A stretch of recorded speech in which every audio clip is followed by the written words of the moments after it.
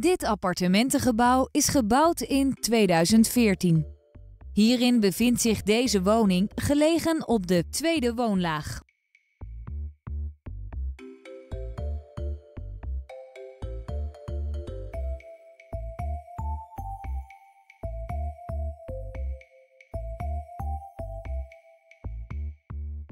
Deze geïsoleerde woning wordt verwarmd met behulp van een cv-installatie.